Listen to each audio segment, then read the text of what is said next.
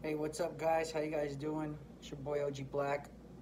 Um, here's a good story I got for you guys today. Remember, this life you guys don't want to get into it. It's not a life really that that you could brag about or tell anybody about and be like, "Hey, yeah, hey man, you know, you're at dinner with your family and your friends." You know, and everyone's telling all these nice things about work and stuff and things that happen at work. Like, oh, don't you hate when Joe does this? And don't you hate when Eric does that? Your boy OG Black, I mean, I got, I know some things that happen. I've worked before in my life a lot. But a lot of the things that I know about are from the criminal element of the life of, of, of, of, of a criminal.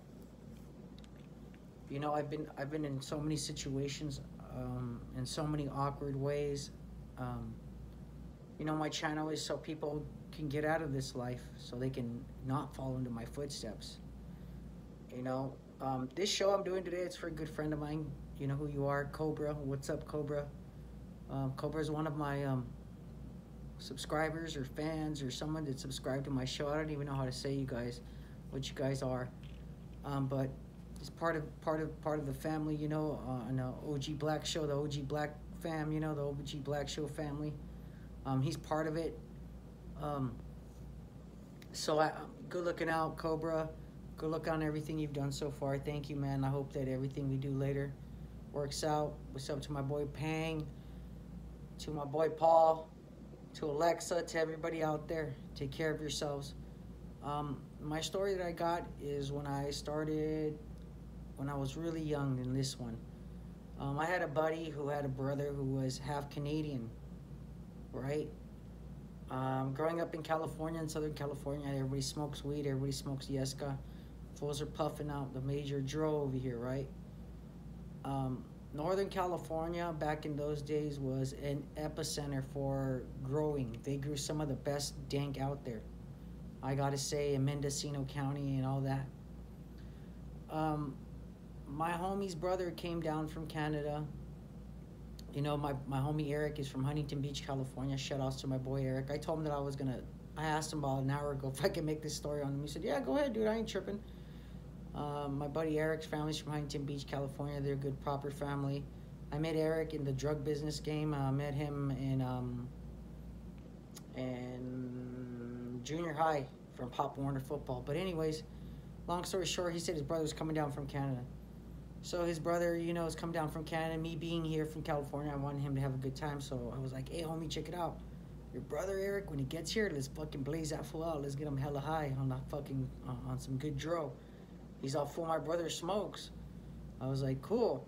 So that fool actually brought some weed all the way from Canada over here. He couldn't do it. He's like, I do not know if people were gonna have weed. I'm fucking tripping. And we're like, hell yeah. So this dude, right? Tries our butt out. He's like, oh, it's okay, but try this one. Oh, man, it was good. And it was outdoor.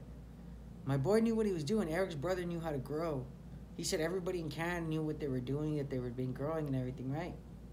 And he was telling me his prices. The only problem was us getting it here.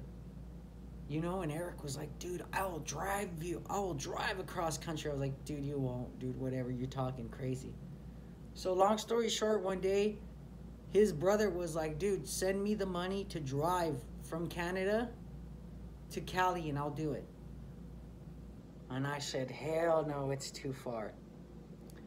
Okay, so Eric and them got really inventive. Okay, so they ended up finding a way to bringing that stuff from Canada over here. And I'm not going to say how or how we did it because we never got in trouble for it. You know? We never got in trouble for it, and thank God because we would have got a lot of time. Um, but anyways, the, the the marijuana that they had over there was bomb, bro. That shit, that outdoor funk was getting me, bro. And we were high as hell. You know what I mean? But there's a bad ending to this story. So, I'm doing this for one or two years, right? And Eric's brother just starts going crazy, bro. He starts spending money, buying cars, doing this, doing that. You know, and your boy OG Black's like, what the fuck is you doing, dude? What is he doing? Long story short, Eric's brother started having a heroin problem. You know, and he started going through his money. OG Black was sending him money back and forth when he could, and Eric told me, "Hey, dude, my brother's just strung out." Um, his brother moved to New York. The business fell apart because his brother just he made our business fall apart. I had to I had to find another connection here in California. It just became too risky. It was too much problems, so we just stopped messing with Eric's brother.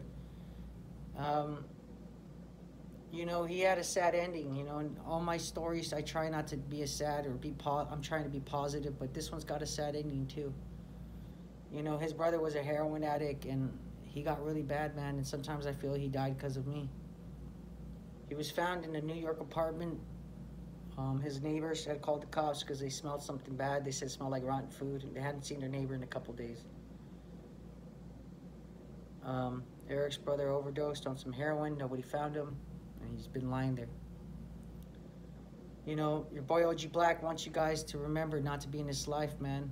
You know, it gives you three things death, jail, or illness. You know, I'm here to make sure you guys don't fall into it. Any questions, any comments you have, you can leave them on my uh, Gmail. That's ogblack at gmail, ogblackshow at gmail.com. That's the same for my PayPal. It's ogblackshow at gmail.com. You know, and you guys, I'm just trying to make sure you guys get out of this life. You know, I mean, here's some advice from OG Black. You know, my story, try not to be sad, man, but sometimes it happens. It's your boy, and I'm out.